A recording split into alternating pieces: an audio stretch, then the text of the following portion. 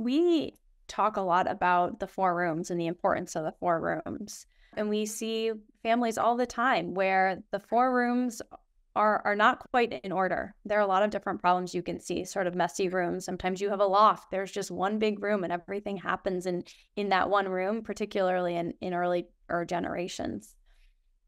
But one of the, the problems that we see most often is the missing room. The owner room is often the last room to sort of come into focus.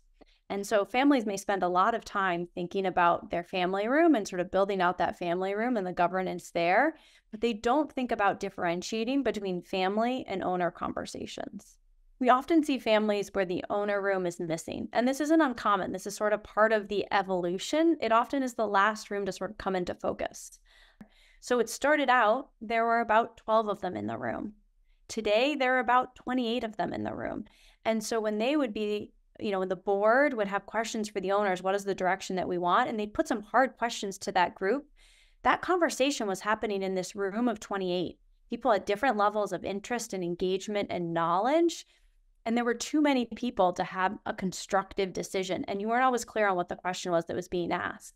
And I think this family, it took them a little while to realize was that some of these conversations, as, as much as they want to be really inclusive, they don't fit in the family room. It's they've gotten too big and you know they have too many people to effectively use that family room to make some of those owner level decisions and so they took this opportunity to start building out the owner room and it was really important to them to think about how do you continue to have a really active engaged family room so you're not excluding people but in order to make better decisions for their business they really needed a group that focused on what are those owner level decisions and let's carve those out from the conversations that currently happen in the family room so, beginning to think about what are the rooms in your house?